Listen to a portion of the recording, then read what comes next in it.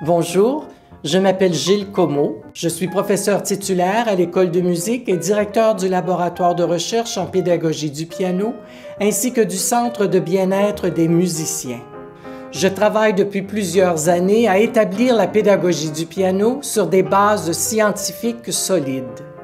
Mes recherches multidisciplinaires et innovatrices ont ouvert de nombreuses voies et ont contribué de nombreuses données empiriques pouvant guider l'apprentissage et l'enseignement du piano.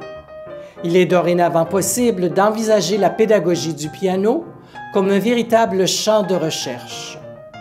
Lorsque j'ai commencé à m'intéresser à l'étude de la pédagogie du piano, celle-ci s'appuyait encore largement sur la tradition et l'expérience des professeurs.